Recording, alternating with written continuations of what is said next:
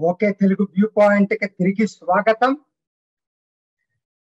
ఆవిర్భావ సభలో పవన్ కళ్యాణ్ రాజకీయాల గురించి మాట్లాడింది బహు తక్కువ. ప్రధానంగా తన ఏడు సిద్ధాంతాలు ఎలా పరివర్తన రావాలి అనే వాటి మీదే ఫోకస్ చేసి మాట్లాడితే మీడియా వాళ్ళ టిఆర్పి రేటింగ్ల కోసం అందులో కొంతమంది వాళ్ళ వ్యక్తిగత ఎజెండా కోసం లేనిది ఉన్నది కలిపి ఆయన చెప్పిన మంచి మాటల్ని పక్కన పెట్టి ఏదేదో ఏదేదో సెన్సేషనల్గా కామెంట్స్ చేస్తూ చర్చల మీద చర్చలు చేయడం జరిగింది. అసలు వాస్తవం ఏంటి? ఆయన ఎక్కడ ఆయన ఏడు సిద్ధాంతాల్లో భాగంగా అవినీతిపై రాజీ లేన పోరాటం చేస్తాను అని చెప్పాడు. దాన్ని జవాబుదారితనంతో ముడిపెట్టి ఏ విధంగా వైసీ వైసీపీ ప్రభుత్వం ఎన్నికల్లో చేసిన వాగ్దానాలని అమలు పరచలేదో చెప్పాడు. సిపిఎస్ని అమలు చేయకపోవటం ఓల్డ్ పెన్షన్ స్కీమ్ని అట్లానే మీకు అమ్మ ఒడి పథకానికి తూట్లు పడవటం ఇసుక దోపిడీ చేయటం గుంటల రోడ్లు మద్యపాన నిషేధాన్ని ఎన్నికల్లో వాగ్దానం చేసి మద్యాన్ని వరదలై పారించటం అలానే గంజాయి సాగు వైసీపీ ప్రభుత్వం వచ్చిన తర్వాత ఏ విధంగా పెరిగిందో ప్రభుత్వ గణాంకాల లెక్కల ప్రకారమే ఆంధ్ర ఒరిస్సా బోర్డర్లో యాభై శాతం సాగు దేశం మొత్తం సాగులో ఆంధ్ర ఒరిస్సా బోర్డర్లలో ఉందని చెప్పటం. ఇవి ఆయన చెప్పింది. దీనితో పాటు తను క్రిమినల్ రాజకీయాలు పోవాలి జవాబుదారితనం రావాలి అని చెప్పాడు. అదే సమయంలో తను ఏ విధంగా స్వతంత్ర వైఖరి తీసుకుంది? వైసీపీది టీడీపీది ఏ విధంగా తప్పుడు వైఖరి అమరావతి విషయంలో అనేది తను కేవలం మూడు వేల ఎకరాలు రాజధానికి సరిపోతుందన్న రోజు ఇదే వైసీపీ తెలుగుదేశానికి ఏ విధంగా మద్దతు ఇచ్చింది కూడా సోదాహరణంగా వివరించాడు. అట్లానే తను అధికారంలోకి వస్తే ఇది పూర్తి ఎజెండా కాకపోయినా చూచాయగా ఉచిత విద్య ఉచిత వైద్యం అట్లానే ఒక నూతనటువంటి ఐడియా మద్యపాన నిషేధాన్ని ఎవరు ఎక్కడ కోరుకుంటే అక్కడ నిషేధం విధించడం ఇవంటే ఆయన చెప్పింది. ఇంతకు మించి ఆయన చెప్పింది ఏమి లేదు. రాజకీయాలు తక్కువ మాట్లాడాడు పరివర్తన మీద ఎక్కువ మాట్లాడాడు. చివరగా ఇప్పుడు అందరూ మాట్లాడేది ఏంటి? అసలు టాపిక్స్ అన్ని పోయి టిఆర్పి మీడియాలంతా కూడా ఏదో పొత్తుల గురించి విపరీతంగా మాట్లాడేస్తున్నారు. ఆయన చాలా క్లుప్తంగా పొత్తుల గురించి స్పష్టంగా చెప్పాడు. ఎక్కడా కూడా మొహాట పడలే. అందరూ అనుకుంటున్నట్టు మొహాట పడ్డాడని అనుకుంటున్నారు. ఎటువంటి మొహాట పడలేదు అనేది అది ఏంటో కూడా నేను వివరిస్తాను. ముందుగా తను స్వతంత్ర వైఖరి తీసుకున్నాడు. పొత్తులు ఎవరితోనున్నా ఉన్నా కూడా నాది స్వతంత్ర వైఖరి అని చెప్పాడు.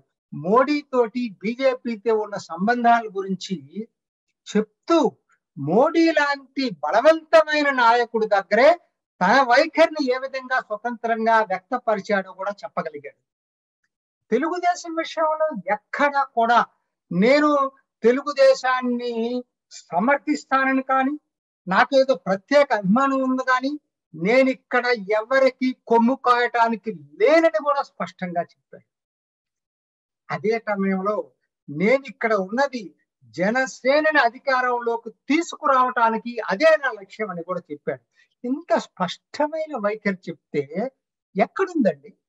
వీళ్ళు చెప్పేయన్ని ఎక్కడ ఎక్కడ వచ్చాడు ఏం చెప్పాడో చూద్దామండి.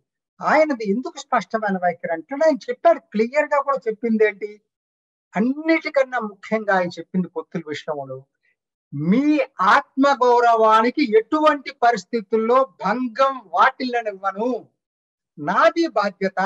నన్ను నమ్మండి. మీ ఆత్మ గౌరవానికి భంగం లేని రీతిలోనే ఏదైనా సరే వ్యవహరిస్తానని చెప్పి చెప్పాడు. ఎంతకన్నా ఏం కావాలండి? అది ఆయన యూసు ఆయన ఆలోచన విధానంలో. ఏంటి అసలు అది? ఆయన చెప్పాడు కానీ నేను ముందుగా నా వారాహి యాత్ర చెయ్యాలి.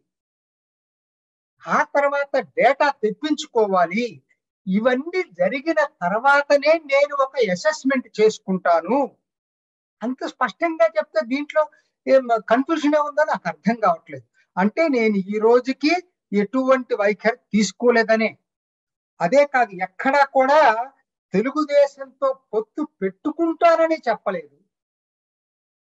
ఏ పార్టీతోనూ పొత్తు ఉంటదా పొత్తు ఉండదా ఒంటరిగా వెళ్తానా? అదే మాట చెప్పాడు. పొత్తుల గురించి ఏ పార్టీతో ఉంటుందో చెప్పలేదు కానీ పూర్తి సంపూర్ణ నమ్మకం వస్తే ఒంటరిగా వెళతానేమో అని కూడా చెప్పాడు. అయితే నాకు అర్థమైంది ఏంటంటే ఆయన చెప్పిన దాన్ని బట్టి ఆయనది ఓపెన్ ఎండెడ్ పాలసీ.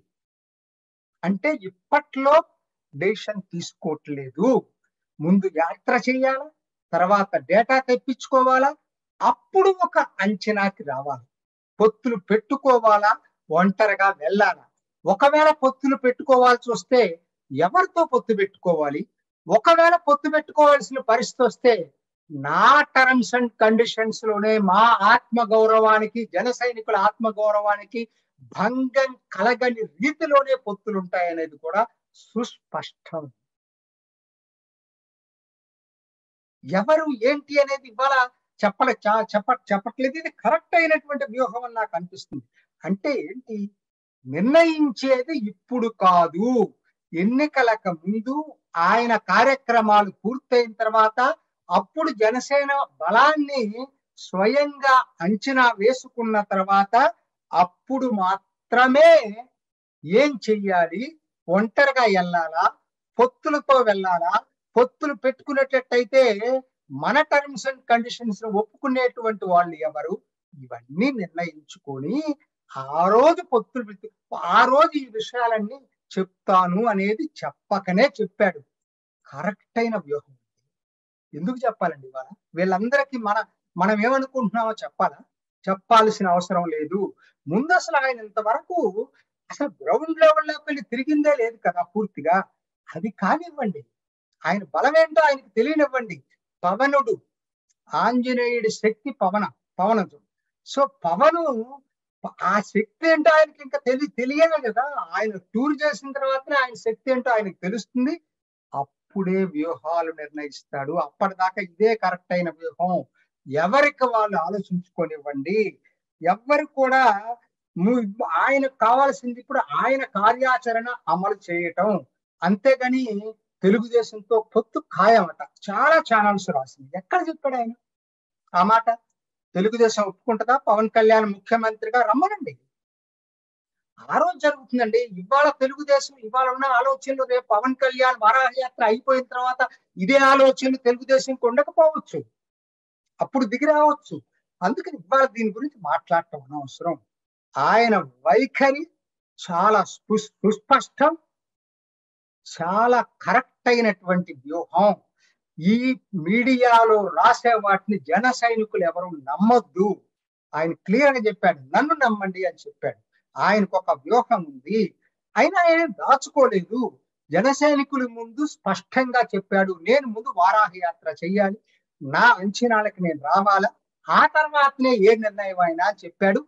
అది జన సైనికుల ఆత్మగౌరవానికి భంగం కలగని రీతిలో ఇంత స్పష్టమైన వైఖరి పవన్ కళ్యాణ్ చెప్పిన తర్వాత వీళ్ళందరూ ఏంటండి ఎవరికి వాళ్ళు ఊహించుకుంటున్నారు? వాళ్ళ ఊహలు మనకు అనవసరం. మీరు పవన్ కళ్యాణ్ దారిలో నడవండి.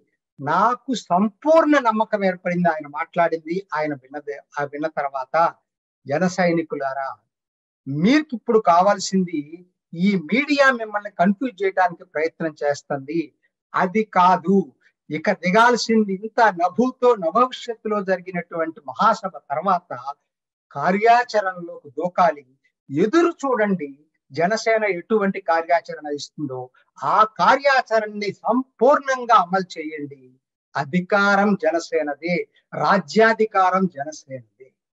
ఇది ఈనాటి ఒకే తెలుగు వ్యూ పాయింట్. ఇంకొక ఎపిసోడ్లో మళ్ళా కలుసుకుందాం. నమస్తే. చూసారు కదండి మరి ఈ వీడియో కనుక మీకు నచ్చినట్లయితే ఒక లైక్ కొట్టేసి మీ అభిప్రాయాన్ని కూడా కామెంట్ బాక్స్లో తెలియజేస్తూ ఇలాంటి ఇంట్రెస్టింగ్ అప్డేట్స్ కోసం మా ఛానల్ని సబ్స్క్రైబ్ చేసుకోండి.